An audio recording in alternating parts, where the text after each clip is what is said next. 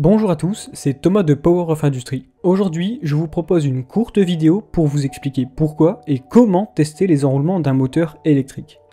Je vous conseille de regarder la vidéo dans son intégralité, car même si vous pensez réaliser correctement ce test, il est possible que vous ne soyez pas en possession de toutes les informations pour le réaliser correctement et bien interpréter les résultats.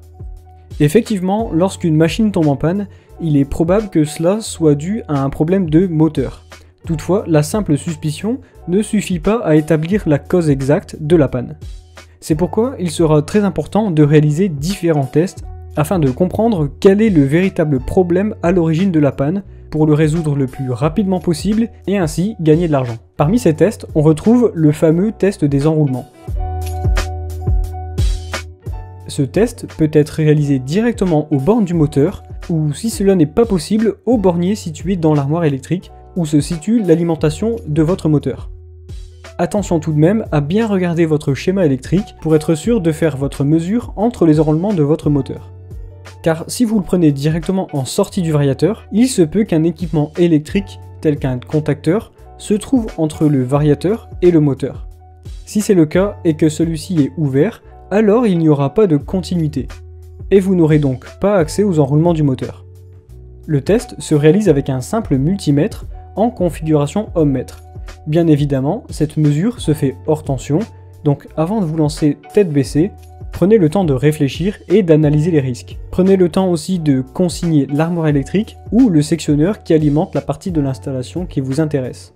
Une fois en sécurité, vous allez pouvoir réaliser le test. Pour ça, rien de plus simple. Vous allez prendre au total trois mesures. La première entre U et V, la seconde entre U et W, et la dernière entre V et W la valeur en ohm que vous allez relever ne sera bien évidemment pas identique à chaque moteur car elle dépend de trois paramètres. Le couplage du moteur, la puissance qu'absorbe le moteur et la température du moteur. Si vous voulez comprendre pourquoi le couplage joue un rôle dans la résistance entre les bornes du moteur, je vous invite à aller voir une de nos précédentes vidéos sur le sujet du couplage moteur. En ce qui concerne la puissance du moteur, cela s'explique car plus la résistance entre deux bornes est faible, plus le courant qui y circule est élevé. C'est la formule I égale U divisé par R. Et plus le courant est élevé, plus la puissance est elle aussi élevée. C'est donc la formule P égale U fois I.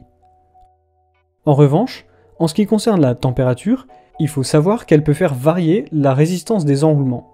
Donc plus la température est élevée, plus la résistance augmente. Dans le cas où la valeur ohmique n'est plus identique sur les trois points de mesure, cela peut signifier qu'un ou plusieurs des enroulements ont perdu de leur efficacité au niveau de l'isolement. Il est aussi possible que votre multimètre indique une valeur de 0 ohm sur une ou plusieurs des points de mesure. Dans ce cas-là, commencez par vous assurer que votre multimètre est bien réglé et qu'il n'est pas en mode hold, mode qui permet de figer la dernière valeur lue par votre multimètre. Si ces deux points sont respectés, alors il y a des chances pour que l'isolation des bobines ont fondu ou plus simplement mal vieilli. Dernier cas possible, votre multimètre affiche OL qui signifie Out Limit ou Overload. Cela signifie que la résistance mesurée est trop élevée pour votre multimètre.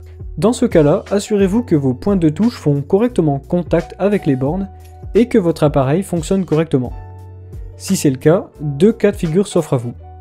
Soit vous avez pris la mesure directement aux bornes du moteur, dans quel cas vous avez probablement une ou plusieurs bobines de sectionnées à l'intérieur du moteur, soit vous faites la mesure depuis le bornier et dans ce cas, il se peut que c'est le câble d'alimentation qui est en cause. Voilà, c'est à peu près tout ce qu'il faut savoir à propos du test des enroulements. Nous espérons que la vidéo vous a plu, dans quel cas n'oubliez pas de laisser un like, puis de vous abonner si cela n'est pas déjà fait. Si vous avez des questions ou des suggestions, je vous invite à les poser dans les commentaires. Merci à tous, c'était Thomas de Power of Industry.